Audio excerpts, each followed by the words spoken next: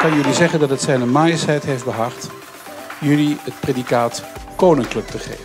Jullie zijn koninklijk bedrijf. Dankjewel.